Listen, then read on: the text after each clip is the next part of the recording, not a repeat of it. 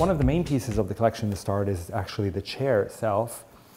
And, uh, and really, it's, the idea is it's a bit leaf-like form. If we look at the kind of landscape of the legs, actually, of the table and the chairs, they're almost like a forest of, of, of trees. Anyway, so it's a dining chair, and, uh, and, uh, and it's comfortable as can be, which is, has to, it has to be, because I think in this day and age, uh, when we make furniture, it has to be extremely comfortable. And, uh, and you can see that the table surface too and the chair itself are all kind of soft. The detailing is all kind of so soft so that you feel very relaxed and you feel in invited when you come into a home.